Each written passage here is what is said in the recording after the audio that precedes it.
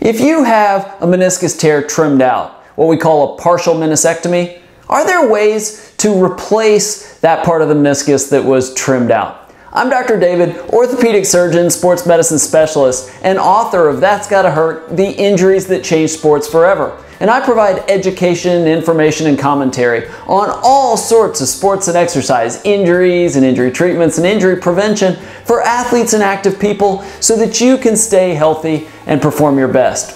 In this week's Ask Dr. Geier video, I discuss meniscus transplantation and is that an option for people who have part of the meniscus trimmed out? All right, Antonio asks by Twitter, at Dr. David Geier, hey doc, is it possible to replace a trimmed meniscus section? Example, partial medial meniscus trimmed.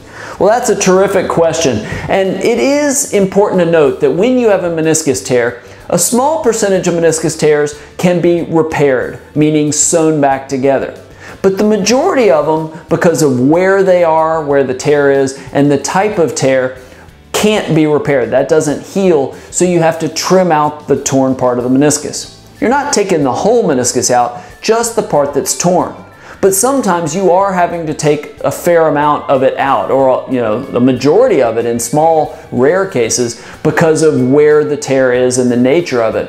And yeah, when you do that, you're losing some of that meniscus shock absorber, and that can lead to wear and tear changes over time, things like arthritis. So in some people, typically it's younger, active people that don't have wear and tear of the cartilage yet, wear and tear of the articular cartilage, arthritis changes, there is an option, what we call a meniscus allograft transplantation or meniscus transplant or meniscus allograft, where we basically harvest a meniscus and the bony attachments from people that pass away and we implant it in the patient that has very little meniscus left. And that is an enormous surgery. It's a really big surgery, but it is an option to basically provide a shock absorber for people that, you know, without much of a meniscus, they could be having a lot of trouble in five or 10 years in terms of arthritis changes.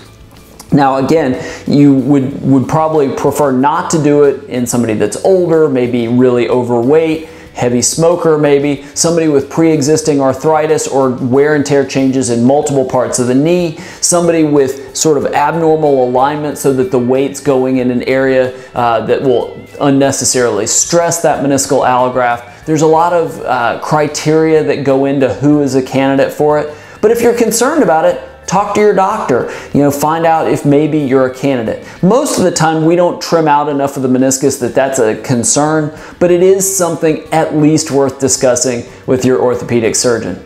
Okay, have you had part of your meniscus trimmed out? And have you talked to your doctor about a meniscus allograft or meniscus transplantation? Or have you undergone a meniscal transplantation? I'd love to hear your experience and honestly, I bet people watching this video all around the world would love to hear your experience as well. So below this video, share your experience so we can all learn from your, from your experience, your um, you know, dilemma, your problem, honestly. I, I can't wait to hear it. Okay, I record a couple of these videos every single week, three right now actually. Plus I've started doing some live videos where I answer questions. So if you want to get notifications of those, subscribe to my video channel. On YouTube, click the subscribe button in the upper right corner of the page. You'll get notified when I'm online doing a live video or when a new video is ready. And I, I, really hope that these videos on sports and exercise injuries and injury treatments and injury prevention are helpful. So consider subscribing to my channel.